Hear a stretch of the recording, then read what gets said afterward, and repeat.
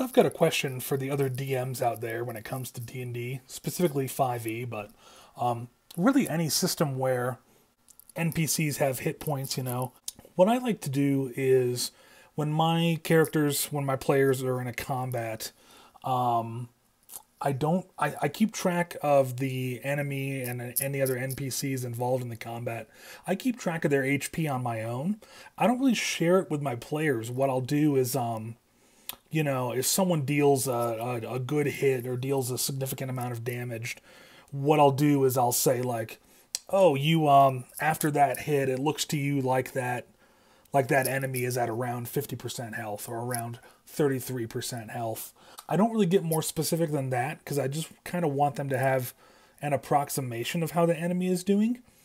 And that gives me some freedom for if um if someone let's say an enemy has 7 health left and someone does a really cool attack that just barely makes it and they deal 6 damage to it. I might say, oh, you know, you kill that enemy or you defeat that enemy. Um, if it just fits rhythmically, and especially if the combat's been going on longer uh, than I would have kind of intended or expected, or I sense that anyone's kind of losing interest, sometimes I'll kind of um, uh, almost rule of cool it and be like, yeah, you you know that hit was good, that totally defeats that enemy.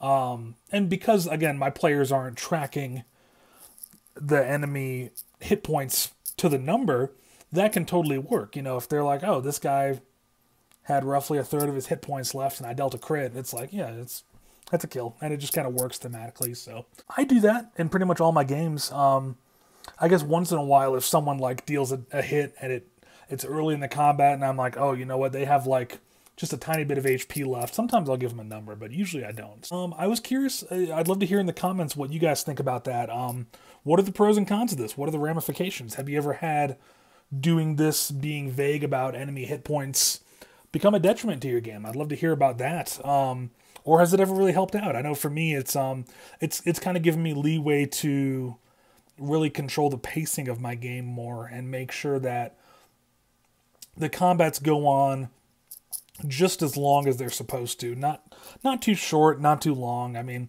it can be cool if your players have like a decisive victory over an enemy where you're like, wow, that went way quicker than expected. But um, you know, if a combat's too easy and too quick and it's not meant to be, you can always just be like, oh, let me add in this enemy. This comes out of the out of the shadows and attacks you guys, or this comes uh, flanking you guys that you didn't notice before. So you can always add in more enemies if a if a combat's going too quickly. But um, yeah, when a combat's kind of dragging on, and it's like it's clear that your player characters are winning, it's like I find that it's not good to drag that on, you know, and be like, oh, we have to we have to keep whittling down this enemy until they hit zero HP. It's like, no, like when someone does a cool hit or casts a creative spell or describes their attack in a cool way, it's like, let it be over at that point if, if it's dragging on, you know, and it's it's totally circumstantial.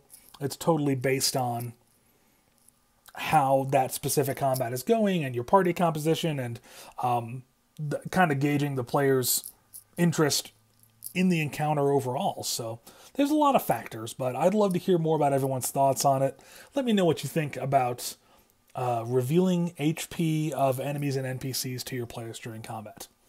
Thanks so much for watching. Have a good one.